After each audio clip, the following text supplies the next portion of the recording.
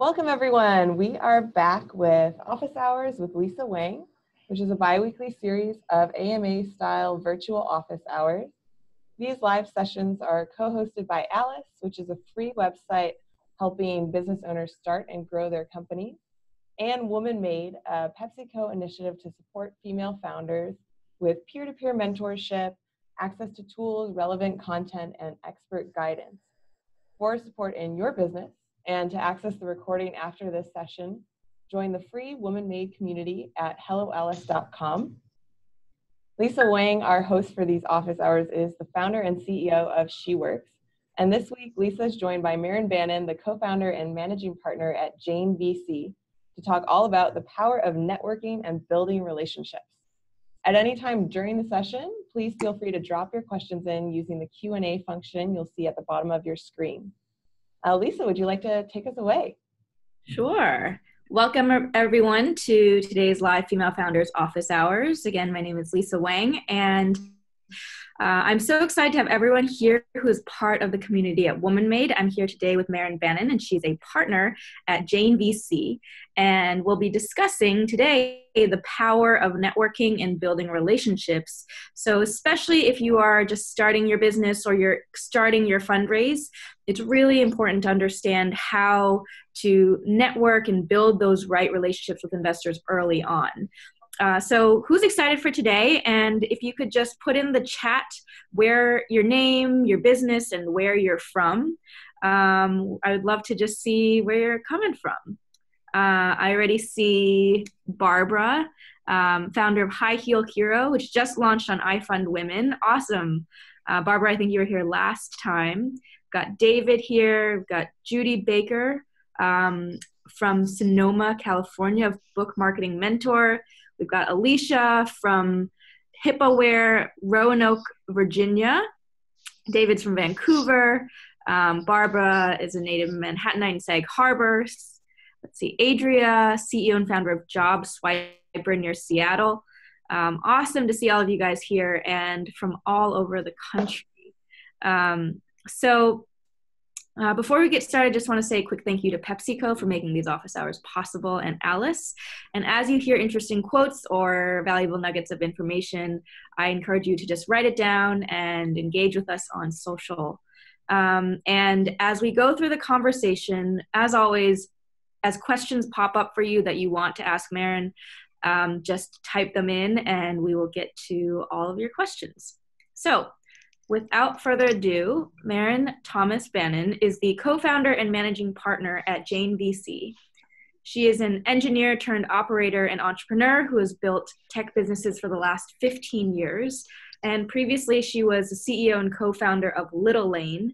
Um, and her experience also includes leadership roles at a health tech startup, as well as leading consumer marketing for a billion dollar product at Genentech.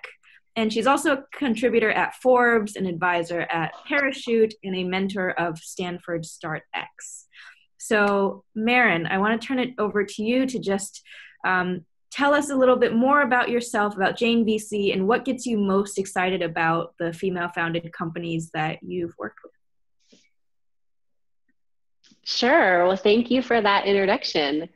Um, so, I uh, co founded Jane VC um, a little over a year ago.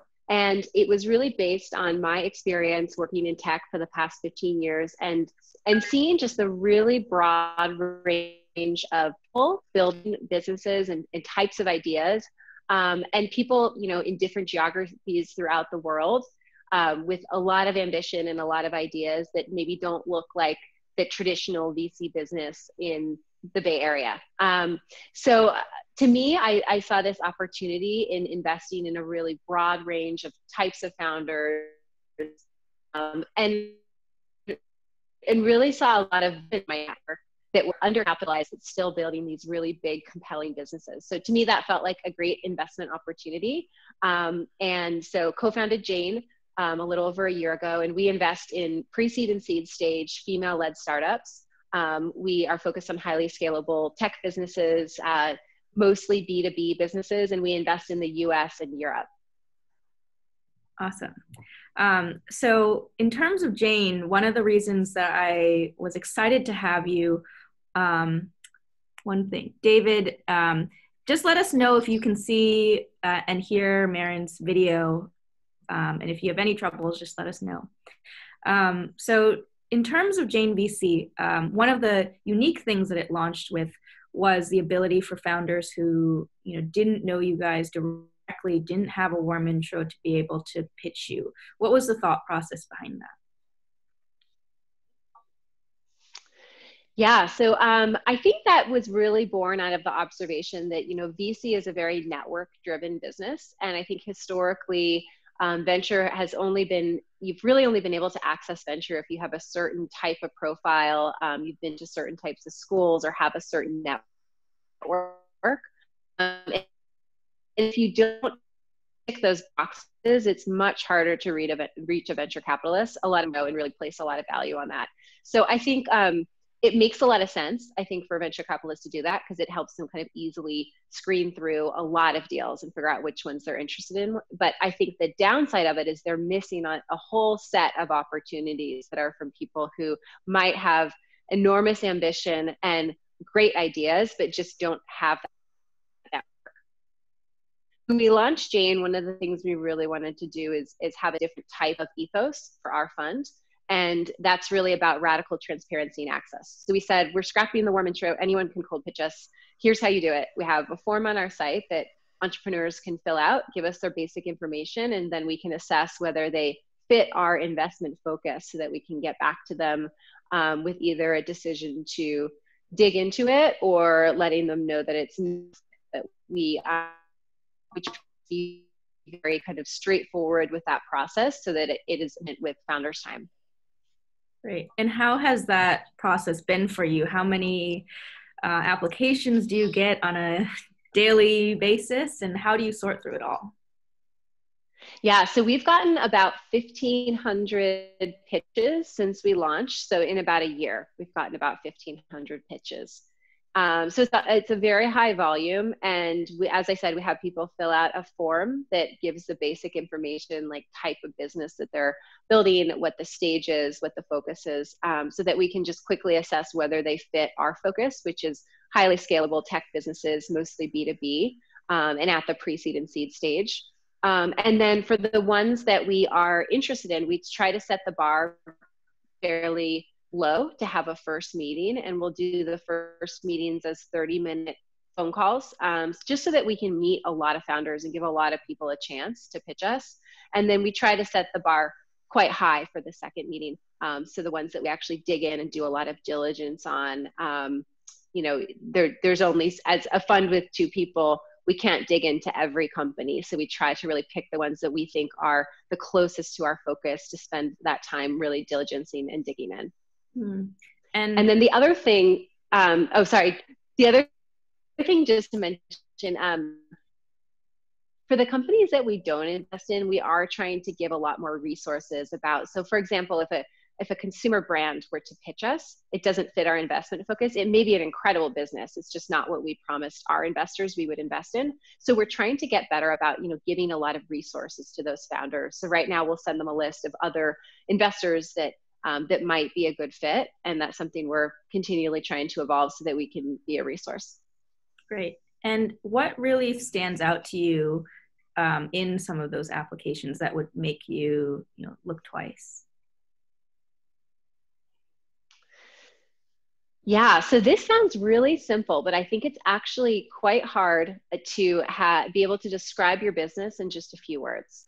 And I think a lot of businesses that I see um, that pitch us, uh, it takes a while to figure out exactly what they're doing. And I think um, a lot of that is just about storytelling and the communication. And it's, it's really the elevator pitch and being able to, you know, if you are in an elevator with someone and have five seconds, can you just get that idea across? And I would really push founders to figure out what that core thing that you do is that is unique and make sure that that just comes kind of screaming through in all of your materials that it's something that people can't miss. Because if you have to dig through a really long email and it's dense and it's a lot of words and it's long sentences, sometimes it's it's very hard to figure out what a business does, despite the fact that somebody obviously put a lot of effort into the materials and the descriptions and all of that.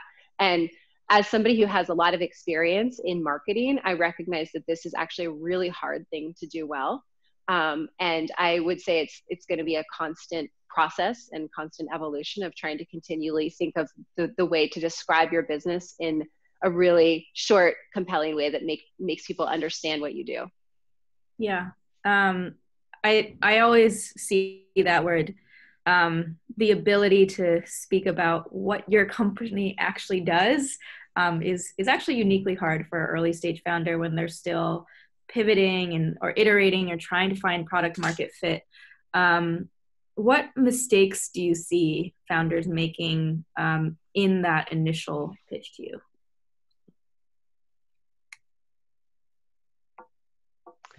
Yeah, definitely. The other thing I would say is avoid the jargon as much as possible. And there's every business has a lot of industry jargon. And I think sometimes the descriptions have so much jargon in them that it's hard to kind of cut through it and understand kind of in plain language what really makes this business distinct. Mm. Do you have any specific examples of um, perhaps a company that did that or what might be a bad one? Yeah, well, I think every company now is AI enabled or an AI for for this or an AI for that, and there's always um, you know NLP and ML and kind of all these buzzwords that I think investors talk a lot about and are interested in. But I think um, probably what makes your business unique isn't AI specifically. It's probably some really specific customer need that you're solving and trying to get to the core of really what makes your pitch a lot more powerful. Hmm. Got it. And one question that founders uh, often get, obviously, as they're fundraising, is the valuation of the company. And I get this question a lot from women in particular around, you know, how do I how do I value my company when, let's say, we're pre-launch or pre-revenue? Um, and so, when asked, why is your company worth this much? What kinds of answers do you get, and what kinds of answers really do resonate with you?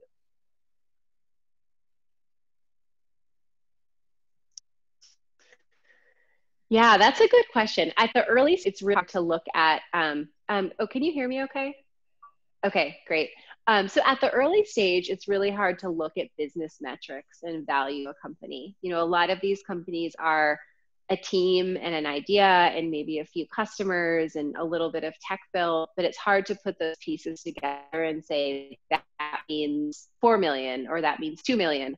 Um, and so I think probably the best way to do it is to look at comps and look at businesses that are in your market that are similar to you. Um, and you can look at, you know, different types of funding rounds. And I think probably the comps is the best way to do it. And a lot of that isn't the easiest information to find, but it's uh, talking to investors and talking with other founders just about what is market right now. And I think that the market will shift, um, you know, quarter by quarter even. And it, it is also a very local thing. So if you're in San Francisco, you're going to have a different valuation than you're in other parts of the world. And so also knowing your local market, especially if you're raising from local investors and what what that market will bear. Mm, got it. Um, so I wanted to continue on through the Jane process, um, and a founder has now applied. They've you know, had their 30 minute call. Walk us through what a founder could expect um, from that call, who they'd be speaking to, and um, what you're really looking for. Yeah, so in that first 30 minute call, we try to ask a fairly standard set of questions. And I think if you look at, um, if you look at, there's some studies on venture and the questions that get asked. And I think women and men tend to get a, a different set of questions. And I think um, women tend to get questions that are more about the risks and the competition, whereas um, male founders tend to get a lot more questions about, you know, what's the the revenue potential or what's the market size of this business. So it's sort of, um, we've tried to be very thoughtful about asking a standard set of questions and making sure that those questions are about potential and really pushing people to think about if everything goes right versus what are the 8,000 things that could go wrong with an early stage startup. Um, so those first meetings, usually it's really about who the team is and what their bigger vision is and what the the problem is that they're trying to solve. That's pretty much the theme of that first meeting. Um, typically it's me or my co-founder. We have a few other team members that sometimes step in and help screening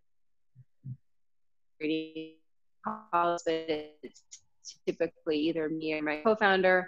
And then our criteria and it's something that we want to dig into we'll go and do a bunch of our own diligence on that company and that space um, and then we will have a second meeting with the founder that's usually an hour often in person with either me or my co-founder um, and we try to make a decision after those two meetings just to be very protective of founder time but we do a lot of diligence behind the scenes just talking with um, with other people. We ideally like to talk to customers if the company has customers, and we like to do a lot of reference checking because at the early stage, it's really you're investing in the team more than anything else. Um, and there often aren't, you know, long long-term financials or a lot of data on the company, but it's more a bet on the space and the team. Got it. Um, and can you tell us a bit about your operator network? Sure. So um, we built our operator network because I think one of the things that we have noticed, if you look at um, if you look at big tech companies, about a third of the employees are women. Um, if you look at top MBA programs, it's you know a third to even up to around 40% women. Um, so there are a lot of these you know talented women um, in these roles where you think they could go and start companies yet right now 2% of funding is actually going to women. So there's this big disconnect i think in terms of the potential and what's actually going to women. So one of the things we wanted to do is really build this scene and this this ecosystem around women founders.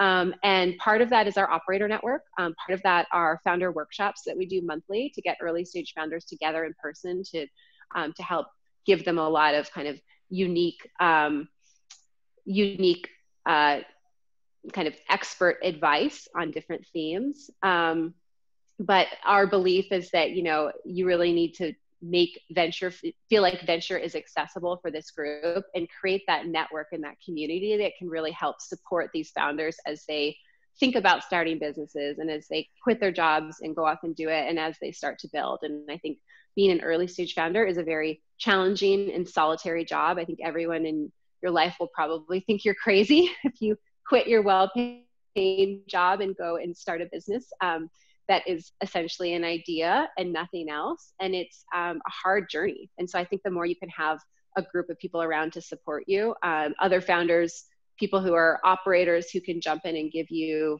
guidance and mentorship, um, I think makes a big difference. Definitely.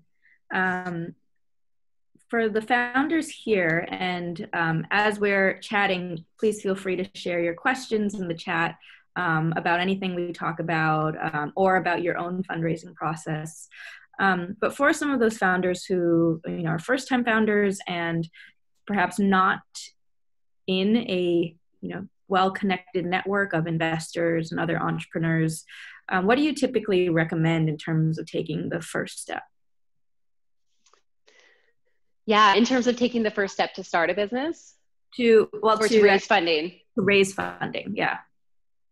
To raise funding. Um, yeah, that's a great question. So I think that there's um, over the last, you know, five to 10 years, an increasing amount of information online about tech startups and about building startups and also about the fundraising process. So I think that kind of democratization of information is really powerful in making a lot more founders able to get this information they need to start businesses. So I would say go and read, listen to those podcasts, and try to get a lot of kind of upskill yourself so that you have a lot of the knowledge about what venture capitalists are looking for, what a pitch looks like, what a fundraising process looks like.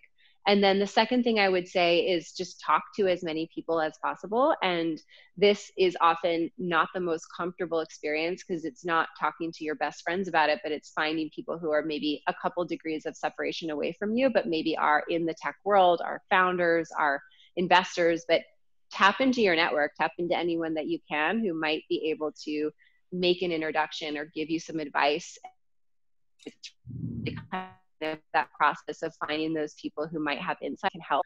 Um, so those are, I think, the initial things that I would do. I think there are more and more, you know, online communities and meetups. There's things like Elpha, which is a community for women in tech. Um, there's Fem Street, which is a great newsletter, and they have a Slack channel that um, I think some of those groups can be really great ways to meet others and investors and just build that community yourself. Even, um, and then I think when it comes time to actually to actually fundraise, um, it's really coming up with who your target list of investors are and trying to get as many kind of warm connections to them as possible, which is, of course, a time consuming process.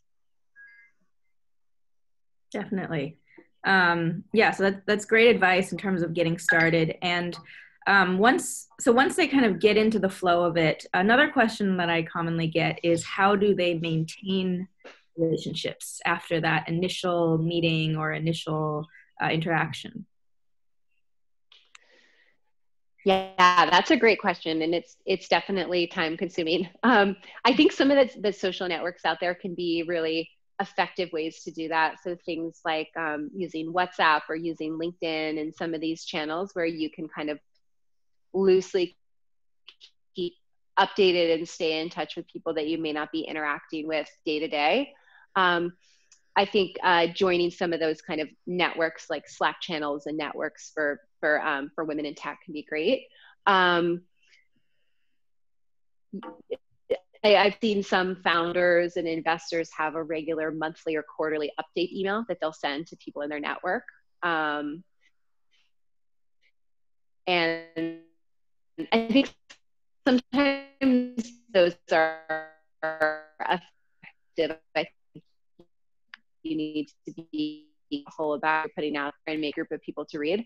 Yeah i think i think another thing that you could do is sort of come up with your short list of people that you want to make sure that you stay in touch with and just you know being really diligent about kind of checking in with people. And i think the in in-person connection is really valuable. So anytime you can go to events and things like that and have a bunch of in-person connections with people that can be a really um, effective way to do it. Got it. Um, and for the companies that you've worked with, can you just tell us some um, about some of the companies that are in your portfolio, um, what you're excited about, uh, and what made you want to invest in them? Sure. So, one of the companies we've invested in is called Vault Platform. And Vault Platform is a misconduct reporting uh, platform that is sold to companies, to corporates. Um, so, it's everything from fraud um, to harassment, um, kind of anything that can damage the culture of that company. Um, and so I was really excited about this company because I think it it solves, I think, what I saw as a big problem within corporates in terms of kind of getting those bad apples out before they start to really damage that company's culture. Um, but I also um, I also like the idea that with this app, um, it's an app that's provided to the employees at the company so they can actually um, you know report things that they see whether it's fraud or harassment or whatever it is. But then there's a button where they can choose to go together. So meaning i would only report this if i knew that i had a group of others that i was reporting it with. Um, and i think that gives people the security to know they're not going to be the one person who's maybe damaging their career by by calling something out um, so to me, it felt like it was a clear, um, solving a clear business need. Um, it was replacing a lot of these outdated call hotlines that, frankly, I think nobody actually wants to call. Um, and um, and also just a really great way to actually make the workplace a better and more inclusive place. Um, and met the founder, and I think just really was inspired by her passion for the problem she was solving and just how kind of dynamic um, and impressive she was. And I think a lot of early stage investing is really just um, betting on a person. So a lot of it was about her. Awesome. Um, we have a question from Barbara. And she says, Lately, I've been saying a million times that if there was the kind of help and collaboration around for women when I started online bookselling in 1989, um, uh, I helped a tech company raise 140 million. I have a hard time doing it for myself. I went through the prep for this today, and my question is about crowdfunding slash equity crowdfunding. Is it okay to go to more than one platform?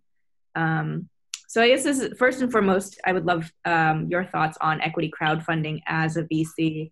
Um, what you think about that for an early stage founder?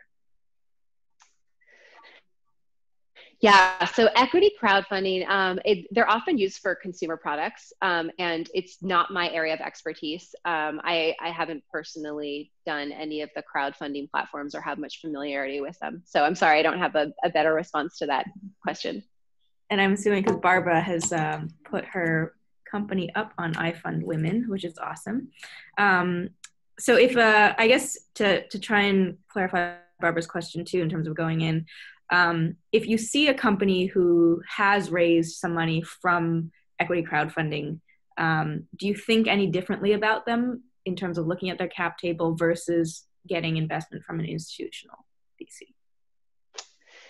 Yeah, um, I don't see a ton of companies that have done crowdfunding just because they tend to be more consumer focused. Um, I don't think it's a negative at all. I think it's a very viable go to market for especially a company where you have to buy a bunch of inventory and you want to actually you know do the crowdfunding campaign so that you can fund some of that. So i don't think it's a negative thing at all. I just think you need to probably think about the right type of business for that type of funding.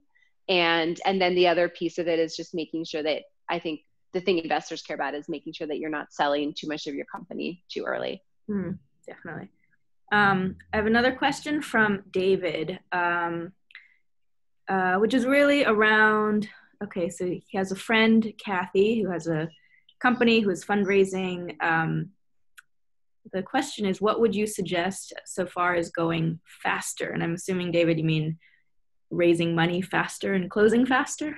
Um, if, if Maren, that question makes sense for you and um, you would like to answer it. Yeah, is the question what can help you raise funding faster?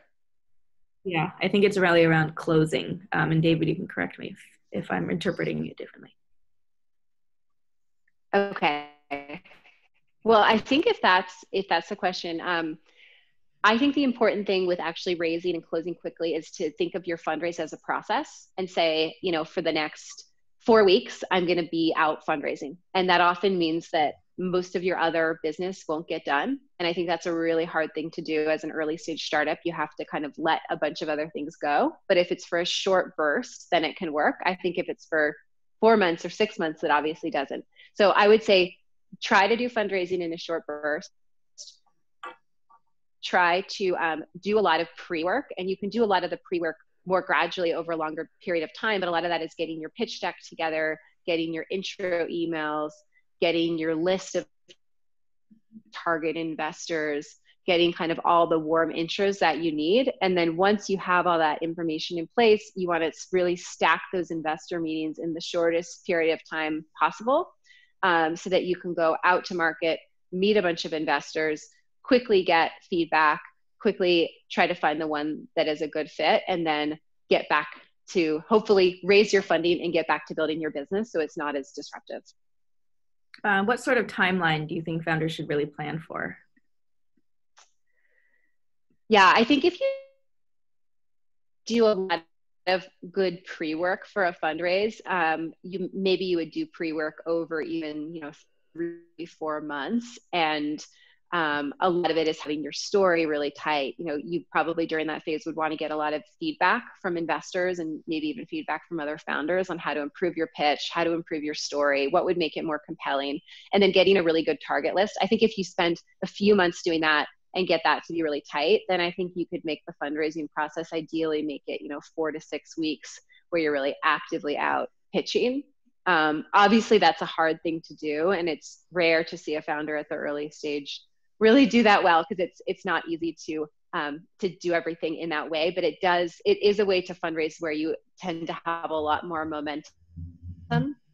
Um, and fundraising is really a momentum game and i think it's a negative signal when you sort of go out and talk to a few investors and then stop for a few weeks and then talk to investors and then stop for a few weeks and it sort of it sort of indicates that you're not serious about your fundraise or you're sort of dabbling in it and i think that can backfire yeah, um, I think that's a really important point about the required focus that you need to fundraise. And unfortunately, it does take you away from operating and building your business. Um, but the, as you said, the faster founders can do that, the better. Um, so they can actually go back to doing that. Um, so we have a question from Yashin um, Ishwan, sorry, and she says, I'm curious if Jane VC invests in consumer marketplaces, and if so, what traction slash key metrics do you look for? Yeah, we're not specifically focused on consumer marketplaces. We mostly invest in B2B businesses. Um, so I don't have um, metrics off the top of my head. Um, I would say, I think for um, for consumer business, I mean, for any early stage business, a lot of it is about um, showing that you're solving a really clear problem in the market and that you have, you know, a, a really valid solution. And I think even if the number of users is really small, um, showing those kind of early signs of really high engagement and excitement about your prod your your product is is really valuable. And then I think anytime you have a marketplace, I think it's also just thinking of the two sides of the marketplace and which side you need to, to see first, which side is going to be the more challenging side of the marketplace, and just making sure that you're building that in a really thoughtful way because um, it's marketplaces are obviously not easy to get started, but once you can, can be really powerful. Yeah, um, and um, Ishwan, I also actually wrote an article about this a few years back um, and really the difference in terms of metrics for B2B SaaS companies versus consumer. Um, and I will put it here uh, for you. Um, so next question is Alicia. Once you have a VC interested, what is the time frame from the time the VC says yes to the time that you have that seed to start hiring, or is there a lot of time with lawyers? Um, so alicia i from your question is assuming that you have closed the fund uh, sorry closed your fundraise when should you start hiring or when should you should start looking for um, new employees?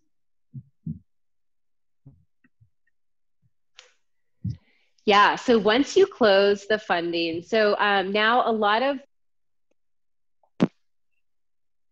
oops sorry Am I still here? Yes. Okay, sorry about that. Um, so a lot of early stage funding rounds are now done on um, convertible notes and safes. So it does make that process of actually raising the funding a lot faster versus a price round, which there's a lot more. Sorry about that. I just lost you for a sec. Um, but in terms of like when to start hiring, so if you are in the process of raising funding and you have term sheets and all of that, um, and then, you know, of course, once it hits your bank account, if you wait until then to start hiring, I mean, it can take a few months to find that right person. And that's kind of essentially a lost few months where you're looking. So I would say the more you can kind of start to tee up people ahead of time, um, tapping into your network, figuring out the profiles of people you're going to need to hire, um, maybe identifying those people, maybe bringing them on in a contract type type of capacity where you're sort of testing them out part time at a lower cost, so that once that funding hits your bank account, you can really ramp up the team faster. I think is uh, is a really positive thing in terms of not wasting time, and time is so valuable for an early stage startup. Definitely. Um, cool.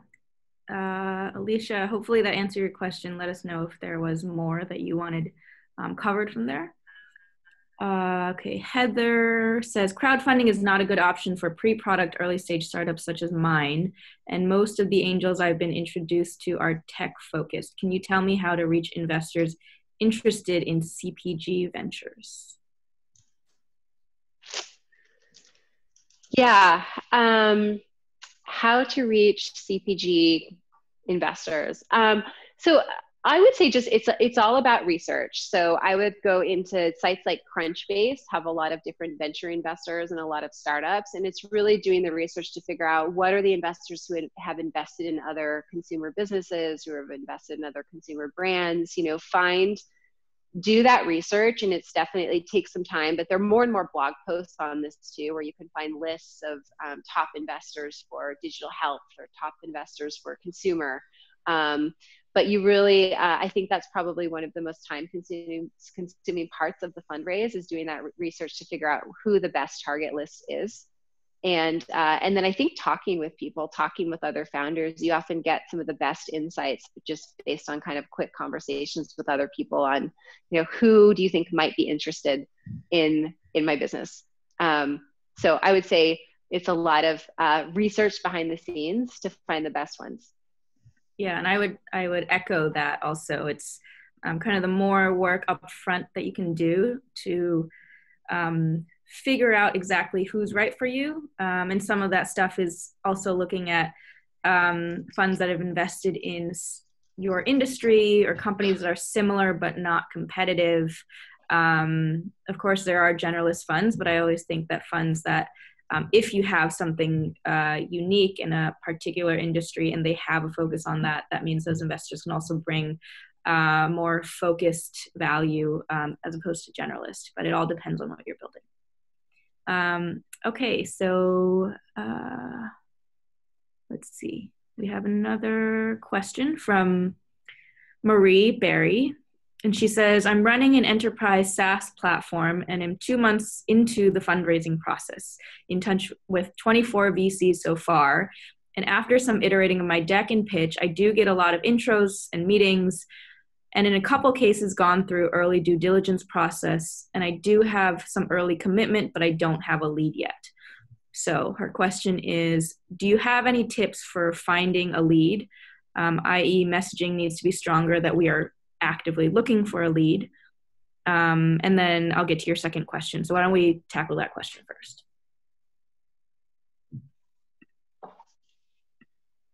Okay and what's the stage of the business? How much is she trying to raise? Uh, Marie, if you can let us know how much you are currently trying to raise um, for your marketing tech SaaS platform, let us know. Um, let's see.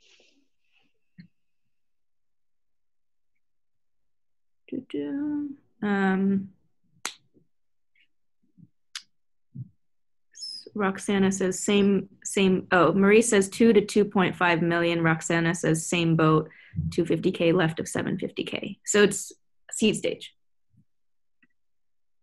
Okay, seed stage. So I think if it's um, if it's around like the 751, um, you don't necessarily need a seed for that, or sorry, need a lead for that type of round. You could gather together some small funds and some angel investors. You could set the terms yourself. You could use a note or a safe. Um, for a two to two and a half million round, I think you typically would need a lead. Um, and so that I think is often the hardest part of the fundraise is finding that lead investor. And I think once you get the lead, you often get a bunch of other people to pile on. Um, so I guess one thing you can do is you can go out and get those kind of soft commitments from the smaller checks and the angels. Just um, that can help in terms of just having that base of investors ready to go once you get the lead. Um, and then I would say um, it sounds like you've had conversations with a number of funds. So I would kind of think back to what's making them say no or what's making them kind of pause and diligence and try to figure out like what what the issues are and try to figure out how to fix them um, before having more conversations and that's one side of it I mean, you're pitch could be amazing though and it's all burning. so i think um, just making sure that you have a big enough top of funnel funnel of, of investors that you have kind of in your pipeline is also the other important side of it. And so i think it's a combination of kind of sensing whether your pitch is resonating or if there are things you need to fix, as well as making sure that your pipeline is robust enough so that you have enough um, enough potential funds in there. And then also the other thing I would say is really prioritize the funds that can lead because you can waste a lot of time talking with smaller funds and angels who might give you commitments but can't actually lead. Um, so really find those ones that do lead and focus all of your energy on them. Awesome. Um, Marie, hopefully that answered your your first question. And then um, so your second question, the most common reasons are that we are pre-revenue and thus no real indication of revenue and retention rates. How would you recommend going about this? Should I look into pre-seed funds rather than seed funds? Um, luckily, we just closed TikTok as our first paying customer, so hopefully that will excite investors.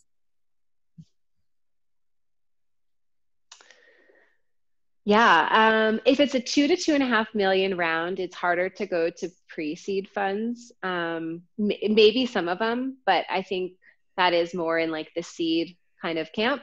Um, if you're pre-revenue, I don't think that that necessarily is a barrier to raising a seed round, but I think it is all about having your story be really compelling and having your business feel like it's really unique and really kind of an N of one business that um, you have an opportunity in front of you that you know is huge and and telling that story really effectively to the vcs so i don't think it's necessarily an issue not to have customers. I think you you do need to have validation that you have some semblance of product market fit at the seed stage you definitely don't need to have full product market fit but you need to be showing that you are getting feedback from customers you're solving a real problem you're doing something that they care about um, and kind of those early, I would call them like early glimmers of product market fit are really important um, at that stage, even if you don't have it fully. Awesome. Um, so I think on a, a, slightly different route, Selena wanted to ask about bootstrapping. And she says, I'm currently bootstrapping and trying to decide if I should continue to go this route or attempt to raise. Is it better to raise after you've hit certain revenue milestones or raise the money so you can hire and then grow faster? My company is a prop tech SaaS venture.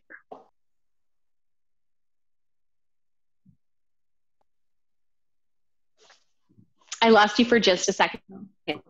Can you repeat that question? It was about bootstrapping. Yeah. So she said she's trying to decide if she should continue bootstrapping or attempt to raise. Um, and is it better to raise after you've hit certain revenue milestones or raise money so you can hire and grow faster. And Selena's company is a prop tech SaaS venture. Okay, thank you. So I think if you can bootstrap, um, you maintain all of the control over your business and over your destiny, frankly. So I think um, if you're able to bootstrap, that's amazing. And I would do that for as long as you can. Um, I think the reason to raise venture is if you see something really working and it feels like you kind of want to pour fuel onto something. Um, and I think that's the right point to raise venture. And I think the other thing is once you raise venture, you're going to be on this kind of cycle where you're going to be much more trying to exit your business so it can't necessarily be a great return for venture capitalists. Um, and so I think once you get into the cycle of raising venture capital, you often need to keep raising and then find an exit for your business. So it's a very different type of journey and trajectory um, and one that you'll have a lot less control of. Yeah. Um, so Maren, um, seems like you cut off slightly in the middle when you were saying um, the moment you take venture, you um, so you're bootstrap as long as you can if you can do it but the moment you take venture you're kind of going down um, and then we kind of cut out there yeah so i was saying um, bootstrap for as long as you can as soon as you start taking venture you get into a cycle where you need to often continue taking venture continue growing at really high rates and eventually finding an exit for your business so you lose a lot of that control that you have when you're bootstrapping a business, and you're much more when you raise venture, you're much more forced to exit. So um, I would say like really think hard about what your ambition is and what you want to get out of this business. Is it something that you want to own and control and grow into a big business? That's great. You might be able to do that through bootstrapping, and there are a lot of examples of businesses that have done that. I don't think raising venture capital is necessarily the best for every business, and it's not raising venture capitalists isn't a success. I think building a, a big business is. So um, there's just so much, you know, media out there about mm-hmm. fundraisers, and it feels like that's overly celebrated um, in today's world instead of actually building something meaningful, which I think there should be more celebration of.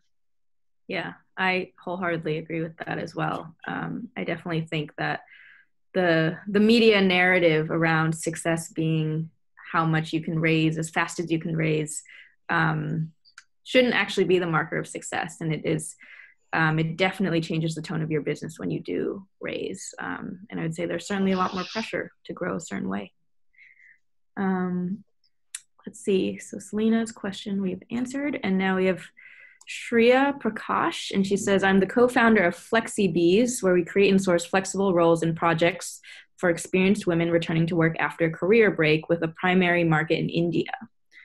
We have been around for two years and have product market fit, paying clients, and are now looking to scale with much more tech integration.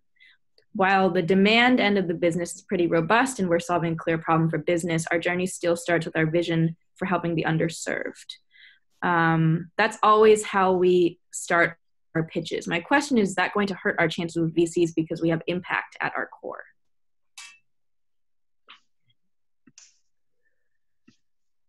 Yeah, that's a good question. And it um, obviously it's going to depend who you're talking to, because I think some VCs are much more focused on impact and many aren't. Um, so know who you're talking to. Um, and then even with an impact investor, I think you want to phrase it as building a, a big sustainable business um, and solving problems that customers have. Um, and I think having that added story that you're also doing something that is meaningful and doing building something that matters is really powerful. But I would probably lead more with the strength of the business you're building versus the impact side of it because you um, if you lead too much with the impact side of it it can come across as sounding like a nonprofit which it sounds like your business absolutely isn't um, but yeah just i think a lot of it is just knowing who you're talking to yeah, um, I would agree. I think I tend to find um, female founders, uh, we all have impact at our core. Um, you know, we're, I think in 2019 going in 2020 if you're building a business that isn't actually creating positive change in the world it's like, why are you creating the business at all that's my personal opinion but um, yeah i definitely think to speak the language of high growth vc investors um, i would also echo uh, leading with not the impact um, all right, answer live. Let's see. Um, I have another question from Alicia. She says, What is the percentage of diversity that you look for at Jane? Currently, we have four women and two men, but we have several uh, on our sales side that are men. HippoWare is an insurtech SaaS platform.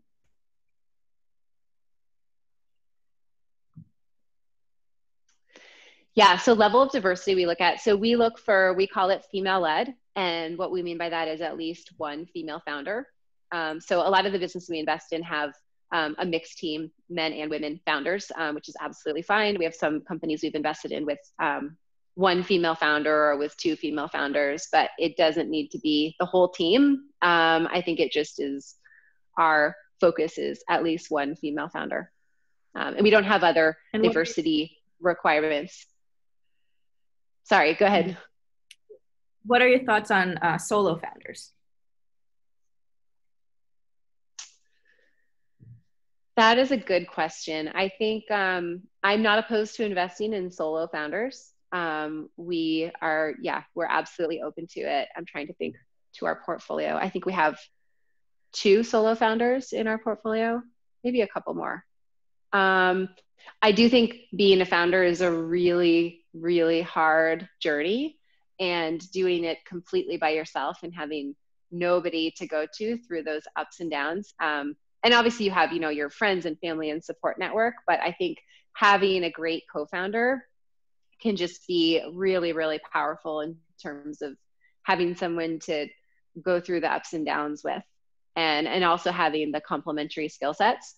Um, that being said, if you don't have somebody who is you know the obvious founder for you to go to i don't think it's worth forcing it um, i think that the founding relationship is sort of like marriage you know you're really in it for the long haul with someone. And i think if you look at a lot of startups there are a lot of founder breakups there are a lot of founder messiness. And so if if you're going to add a co-founder you want to make sure that it's somebody who really clicks with you and has the same values and makes sense and spend the time up front getting to know that person and making sure that that is true.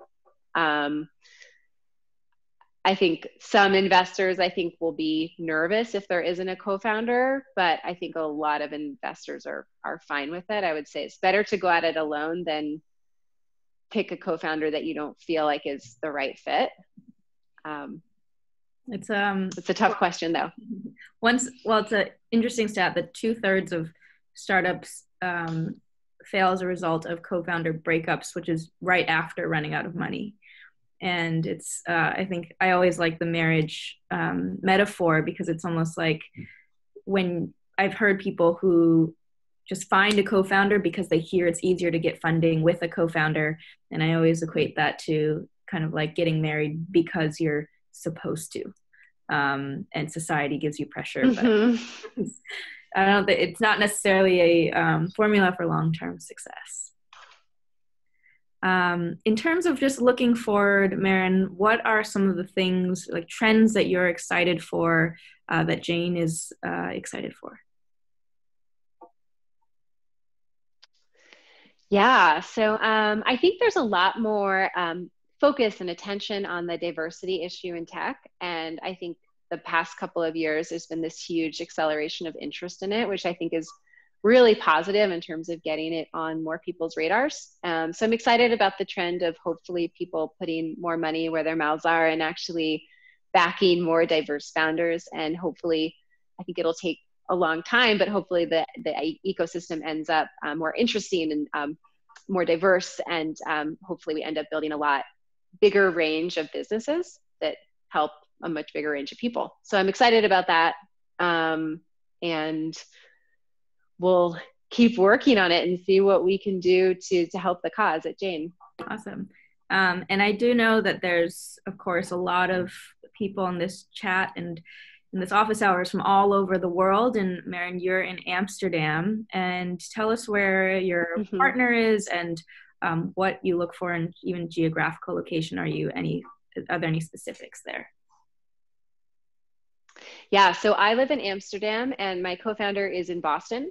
Um, so I do have uh, I do have a preference for startups that are, for me, either in Amsterdam or London or that vicinity, just so that I can actually be closer to the startup and meet them in person and help them and add more value. Um, and my co-founder, the same goes for her in Boston and New York. She really likes to be able to have startups that are more local to her that she can help.